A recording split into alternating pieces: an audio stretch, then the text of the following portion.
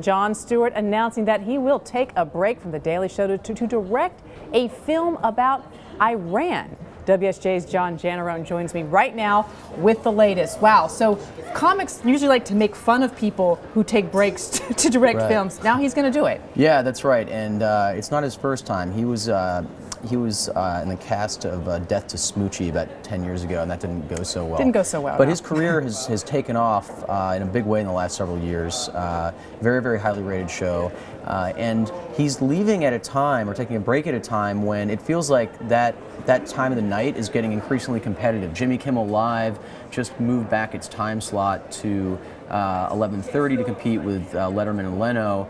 And um, you know, I think um, you know, from I think even advertisers are probably looking at, at, that at that part of the night more and more. So to go off and do a movie which probably has you know, a so-so chance of, of succeeding is a little risky. And it's a, in the topic, I mean, the topic is a very serious topic. I mean, this is a film he wrote called uh, Rosewater, deals with journalism and government imprisonment in Iran, among other subjects. And it was adapted from a book that had a, the author had a connection to his show originally. That, that's right. So the author was, was on his show uh, at some point and um, I think was accused of being a spy. Uh, so that, and then imprisoned in Iran. That's right. Right. Yeah. Uh, and so he, but he's going to go off. He's going to do this. Who will the people will want him while he's away?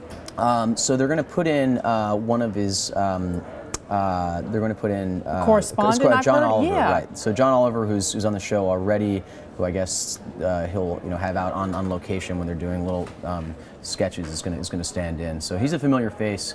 I mean, it's only eight weeks, so uh, chances are this is not going to uh, cause any major major problems. But again, there's a lot of attention on late night right now, so it's it's it's somewhat surprising that uh, you know he's he's you know going to take off. And it is somewhat unusual for these these late night talk show hosts to to want to leave their slot to do any other uh, kind of project, right? I mean, you work so hard to get that slot and to keep those viewers and to stay on top, to sort of walk right. It's it's yeah. yeah. I mean that that's right. I mean, look, his show has. I mean, they've done very well. If I if I remember right, in the last few years, the the sort of you know classic late night guys like Leno and Letterman have. Um, have been losing viewers, and you've had people watching um, Comedy Central stuff. So, so Stewart and Colbert have, have picked up a lot of viewers over time. Uh, I think, I mean, um, Conan has suffered a little bit after after he uh, moved over to TBS, but um, you know these guys have been um, winning at the expense of, of, of, the older guys. And, and Jon Stewart appeals to a, to a younger audience. That's, that's, that's another part of it. I mean, you look at,